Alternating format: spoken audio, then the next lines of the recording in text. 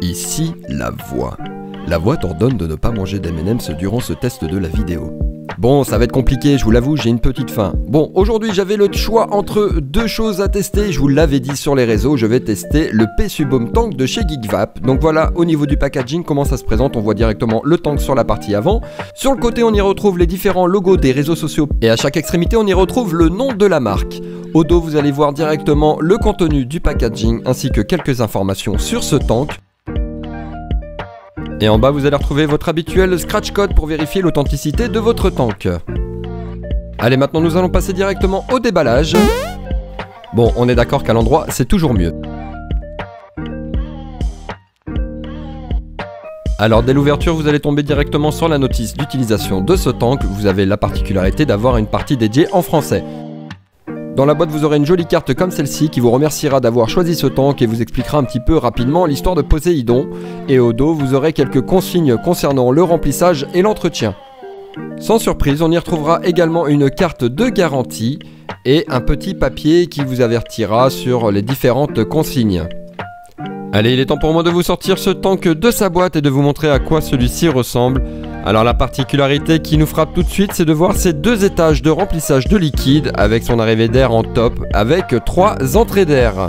Au dos du tank, on retrouvera quelques inscriptions comme le nom de la marque ainsi que le nom du modèle. On verra que ce tank a été designé par la marque et fabriqué en Chine.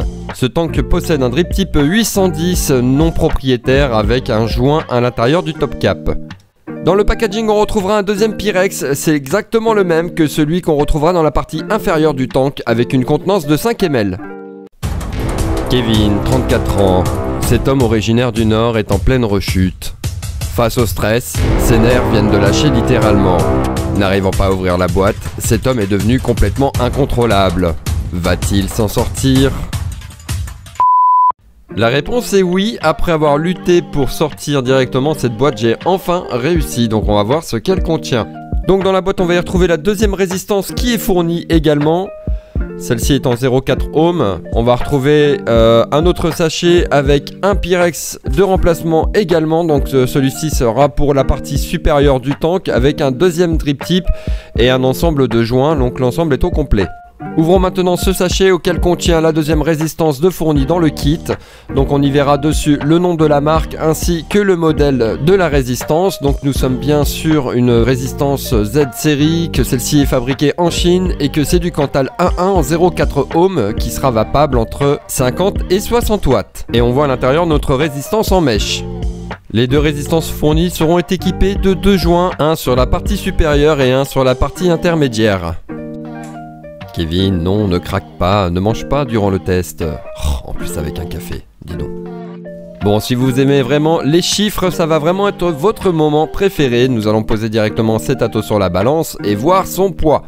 Donc nous sommes sur 78 grammes et cette fois-ci les comptes sont bons. Les calculs sont pas bons Kevin Si si Inès, les calculs sont bons pour une fois. Donc maintenant nous allons mesurer directement sur la base le diamètre de ce tank. Alors vous avez pu voir celui-ci mesure 24 mm et non 26 sur sa base. Effectivement un peu plus haut nous sommes sur 26 mais sur la base nous sommes bien sur du 24 mm. Maintenant pour ce qui est de sa hauteur nous sommes sur 55,33 mm. Et pour ce qui concerne le drip tip, nous serons sur un diamètre de 17 mm. Concernant ce drip tip, vous aurez la possibilité de le changer avec celui qui est fourni directement dans le packaging ou avec un autre qui sera compatible. Remarquez que le joint est directement intégré à l'intérieur du top cap. En ce qui concerne le dévissage du top cap, rien de très compliqué puisqu'il suffira simplement de faire un quart de tour dans le sens contraire des aiguilles d'une montre et on pourra y voir un large joint qui épouse tout le contour. On pourra noter aussi la présence d'un joint sur la partie supérieure de la cheminée pour éviter toute fuite éventuelle du côté du drip tip. Nous allons maintenant dévisser la cuve. Sachez que le pas de vis est parfaitement usiné. Je n'ai rencontré aucun problème de ce côté-là. Nous avons donc maintenant en visu la résistance qui est directement plugable. Notez que vous aurez un sens pour intégrer directement votre résistance. En effet, vous avez deux encoches de chaque côté, donc faites attention de bien les mettre à l'intérieur. Un conseil, ne faites pas comme moi, ne tirez pas directement la résistance comme je le fais. Bon, rien de très grave cette fois-ci, il suffira que je remette ce petit bout, voilà, comme ceci, et on va resserrer l'ensemble. Allez, je vous remonte encore une fois en plan serré ce magnifique design qu'a ce tank P Poséidon. Donc vous y verrez directement les gravures GeekVap sur la bague d'Airflow. En tout cas cette bague d'Airflow est vraiment très agréable à utiliser, elle est vraiment smooth, elle n'est ni trop souple ni trop dure, c'est plutôt agréable. Passons maintenant au remplissage, comme vous avez pu le constater sur ce tank, les ouvertures de remplissage sont juste énormes, c'est un vrai jeu d'enfant. Maintenant il ne reste plus qu'à patienter 10 minutes et on se retrouve juste après pour le test et la conclusion. Vous prévenu, j'allais pas tenir toute la vidéo.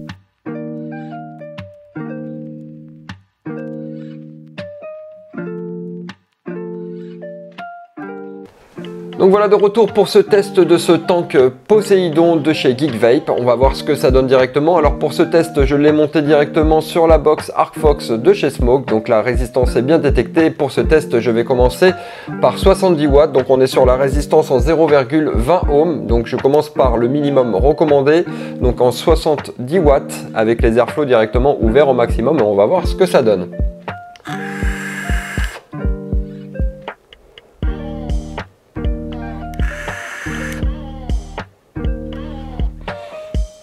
Alors comme vous pouvez le voir, ça fait vraiment de très très gros nuages. En revanche, on ne lésine pas du tout sur les saveurs. Les saveurs sont vraiment excellentes. Euh, là-dessus, GeekVap a fait vraiment un très bon travail sur ce tank. Les saveurs sont vraiment présentes. C'est vraiment un goût très rond et on sent bien toutes les notes sucrées euh, de mon arôme. Euh, les arômes donc sont vraiment présents, c'est hyper surprenant. Ce que j'aime vraiment avec euh, ce tank, ça va être euh, son airflow déjà qui est sur la partie intermédiaire. Donc pour l'instant je n'ai noté aucune fuite, mais je n'ai pas suffisamment de retour pour voir si ça va tenir dans le temps. Mais en tout cas voilà, pour le moment ça fait vraiment bien le job. au niveau de ces airflows, j'aime vraiment, c'est très smooth comme tirage. On est vraiment sur une vape tiède, on n'est pas sur une vape fraîche. Allez, on va augmenter un petit peu, on va passer à 75 watts. Hop. Et toujours avec les airflows euh, complètement ouverts.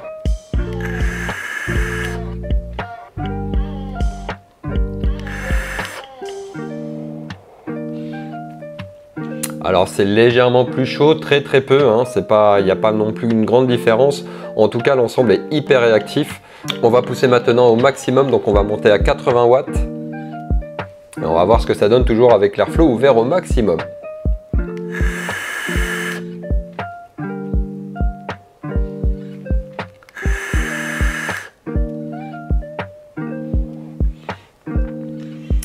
Alors, euh, la conclusion sur un tirage entre 70 et 80 watts avec toujours l'airflow ouvert sur un gourmand. Honnêtement, je je trouve pas qu'il y a de grandes différences au niveau des saveurs. Ça va être un peu plus chaud forcément à 80 watts. Euh, moi j'apprécie entre les deux à 75 watts. Je trouve que c'est vraiment le bon compromis. En tout cas l'ensemble fonctionne bien comme je vous le disais. C'est hyper réactif. C'est vraiment, euh, vraiment top. Alors passons maintenant au point positif et au point négatif. Honnêtement, le premier point positif, ça va vraiment être le rendu des saveurs sur ce tank qui est vraiment excellent. Euh, voilà, on a vraiment, euh, j'ai vraiment un goût rond de, toutes les saveurs que je connais sur, euh, sur ce liquide-là. J'ai pu tester pas mal de Cliro. honnêtement, celui-ci est vraiment, est vraiment surprenant. Donc, je vous le conseille si vous cherchez vraiment des saveurs pour un gourmand. Celui-ci est vraiment top. Deuxième point positif pour moi, ça va être sa bague d'airflow. Je la trouve vraiment top avec ses trois arrivées d'air. On a vraiment un tirage très smooth. Je n'ai constaté aucune fuite jusqu'à présent. Et voilà, tout simplement, j'aime vraiment son tirage. Donc, pour moi, c'est un gros point positif aussi pour ce tank. Troisième point positif pour moi, ça va être sa large ouverture pour son remplissage. Honnêtement, comme je vous disais, c'est vraiment un jeu d'enfant. Hop là, je fais attention de ne pas en mettre partout. C'est hyper simple. Euh, donc voilà, pour moi, c'est aussi un point positif.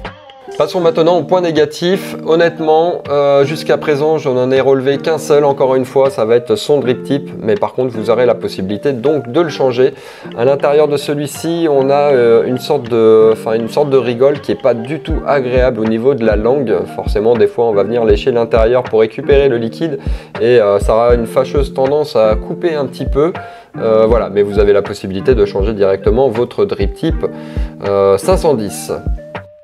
Bon voilà, je pense avoir fait le tour de ce tank Poséidon de chez Geekvap. J'espère que la vidéo t'a plu. Comme d'habitude, je te mettrai un petit lien dans la description avec euh, plusieurs shops auxquels tu pourras retrouver directement ce tank. On est aux alentours des 28 euros à ce jour où je tourne la vidéo. En tout cas, si la vidéo t'a plu, n'hésite pas comme d'habitude à la partager, à la liker et à la commenter.